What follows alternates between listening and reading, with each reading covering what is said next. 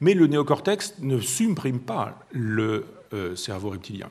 Le cerveau reptilien, c'est ce qui fait que quand euh, il fait cette température dans la pièce, vous allez sortir, ça va pas être la, même température. Eh bien, rien de votre conscience ne va fonctionner pour que votre corps euh, pratique ce qu'on appelle l'homéostasie, c'est-à-dire qu'il fasse le nécessaire pour que la différence de température elle soit euh, assimilée par le corps et que vous ayez des changements de température, plus chaud, plus froid, transpiration, augmentation du souffle ou ce genre de choses. Donc c'est en permanence que le cerveau reptilien nous fait être ce que nous sommes. Et l'agressivité, euh, en procède. Faites l'expérience, vous parlez à quelqu'un, et eh bien approchez-vous de 10 cm, le personnage va reculer. Approchez-vous encore, il va reculer. Non pas qu'il se dise, mais il rentre dans ma zone d'influence ou je ne sais quoi, mais simplement parce que les modalités du cerveau reptilien font qu'effectivement nous sommes restés des animaux en relation avec d'autres animaux.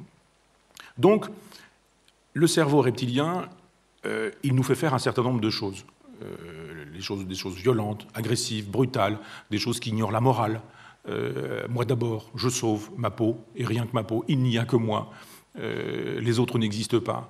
Euh, le cerveau reptilien n'est pas altruiste, le cerveau reptilien ignore la solidarité, la fraternité, etc. C'est le néocortex qui va fabriquer tout ça. Donc il va y avoir deux forces en nous, au moins. Une force primitive, brutale, qui nous fait faire un certain nombre de choses, qui nous fait être jaloux, envieux, méchant, agressif, etc.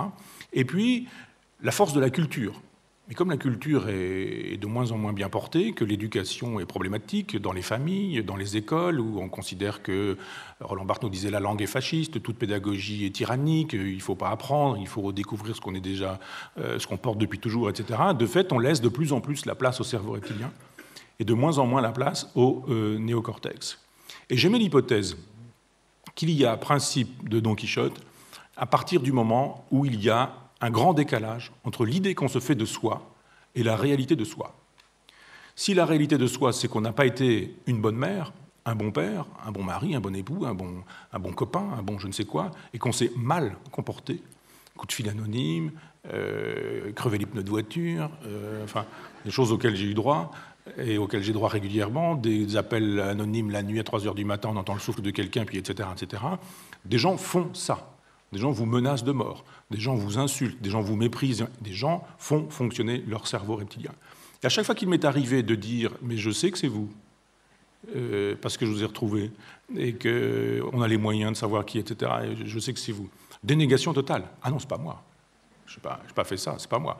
Et si, c'est comme le petit garçon qui a le, Nutella au bout de la. le doigt dans le pot, le pot dans la main, le Nutella au bord du qui dit Ah, je sais même pas ce que c'est que du Nutella c'est pas moi, euh, c'est ma petite sœur qui est partie en vacances. Enfin, et vous vous dites, mais comment se fait-il